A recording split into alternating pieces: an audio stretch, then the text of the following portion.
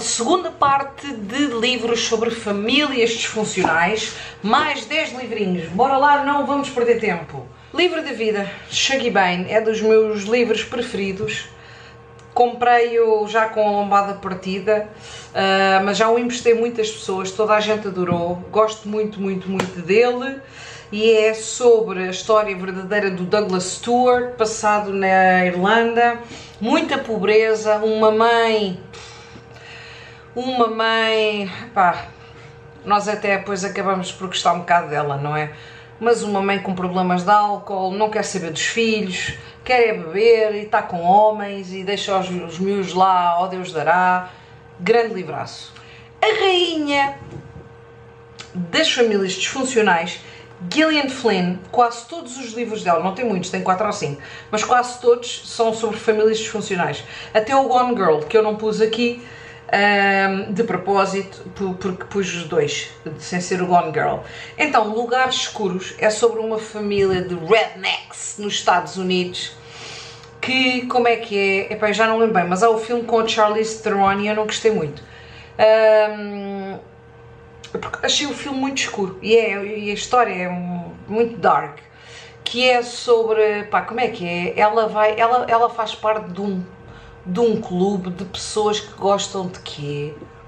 De true crime ou de serial killers, é qualquer coisa assim.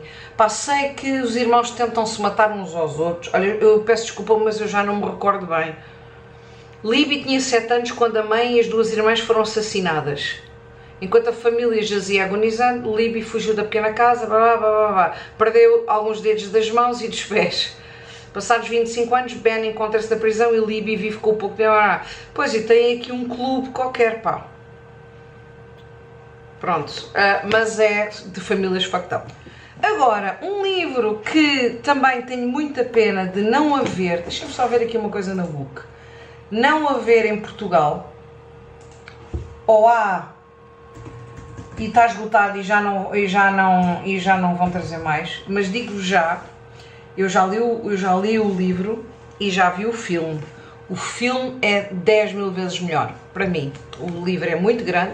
We Need to Talk About Kevin, do Lionel Shriver. Da Lionel Shriver. Este, este livro, esta história é.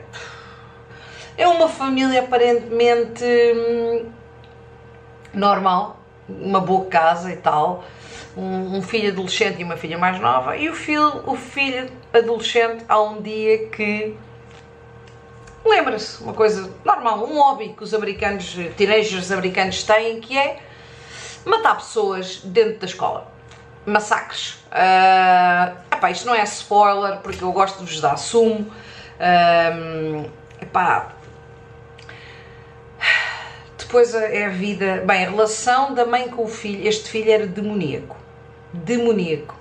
A relação que ele tem com a mãe, aliás, com a família, ele faz muito mal também à irmã mais nova, é espetacular, está bem? Depois, se puderem, leiam ou vejam o filme.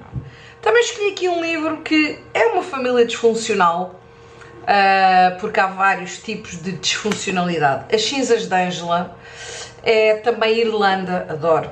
Muita pobreza, o pai é alcoólico, a mãe é, é, a mãe só sabe ter filhos. A mãe tem um rancho de filhos e depois eles passam fome, passam frio, ela está sempre a engravidar. Um, este livro, por acaso, até foi de um dos primeiros do, no book club do Patreon. Elas gostaram muito. E. Hum, Pá, isto é a história dele, este, quer dizer, isto é a capa do filme, claro. Ele é o Frank McCourt, já ganhou Pulitzer, é um escritor irlandês e é sobre, é muito, quer dizer, é muito parecido com o Douglas Stewart, mas eu gostei mais do, ah, desculpem, do Shaggy Bane, mas é muito na onda e também é uma família disfuncional porque eles põem à frente, põem os, os vícios à frente do, das condições de, dos filhos. À semelhança da Gillian Flynn, que é a rainha do, das famílias disfuncionais, temos aqui o rei das famílias disfuncionais, novamente, o nosso amigo John Mars. The Good Samaritan foi o melhor livro que eu li em 2021. Então o outro de What Lies Between Us deve ter sido em 2020. Pá, não há palavras. Não há palavras. É uma mãe de família, aparentemente normal, trabalha numa hotline de suicídio uh, que as pessoas telefonam para lá quando estão a ter com ideias suicidas e o que é que ela faz? Ela ajuda a pessoa a suicidar-se. Ai, adoro. Uh, epá, é, é, é muito. Depois também há aqui cenas com o marido dela e com a filha. Isto é, uh, quem viu o primeiro vídeo ouviu-me dizer sobre a minha ideia de ser rica e ter uma editora sem fins lucrativos. Este também era um livro que eu trazia e depois se vendesse, vendia, se não vendesse, não vendia. Este também era para trazer para cá. Um livro que muita gente adorou, eu não adorei, só dei 4 estrelas. Confesso-vos que já não me lembro praticamente nada da história. Já li em 2021, há ah, 3 anos, mas não me marcou muito. Que é um instinto, é uma história de uma mãe com uma filha e só me lembro de uma situação na casa de banho. Já não me lembro de mais nada. Portanto, não vos posso ajudar. Sei que é realmente uma família disfuncional, uma mãe e uma filha, e que toda a gente adorou muito, muito, muito este livro, portanto, recomendo-vos. Agora, um livro português. O meu livro português preferido até à data, que é O Demência, da Célia Correia Loureiro. Também fala aqui de uma família que também é disfuncional, também se pode chamar uh, disfuncional. Não é aquele disfuncional típico de alguns destes livros, mas também é. É uma, uma rapariga que sofreu de violência doméstica e vai viver para a aldeia e vai viver para a casa da mãe do agressor, da sogra. Eu penso que é isso. 2018.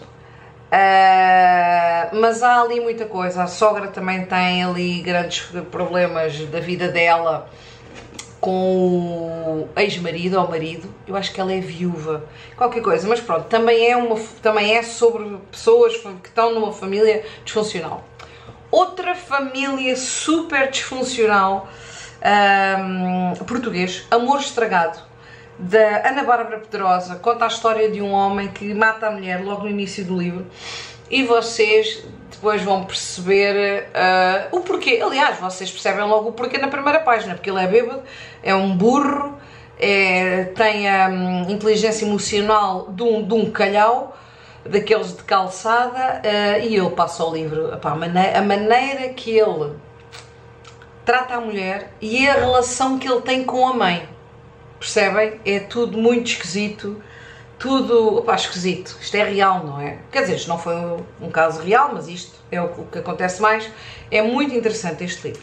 Depois temos aqui outro livro português, A Gorda, da Isabela Figueiredo, que também é uma família disfuncional, que é uma mãe e uma filha, e a filha é gorda, e a mãe passa a vida inteira da filha a pô-la para baixo por ela ser gorda. Como vos disse no vídeo anterior, tenho aí muitos livros sobre relações de mães e filhas que epá, que as mães são muito, muito egoístas, não é? Muito narcisistas e este é um deles. Eu dei 5 estrelas a este livro. Finalmente escolhi uma novidade, um livro que eu não adorei, mas muita gente adorou ou vai adorar. Lisa Jewell, Nada Disto é Verdade.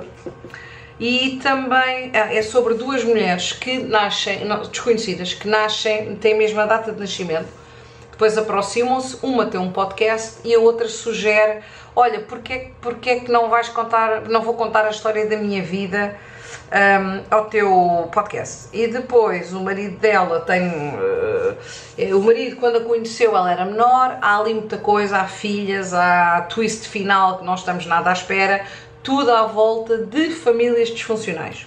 Pronto pessoal, este é o segundo vídeo, um bocadinho mais curto, não perdi tanto.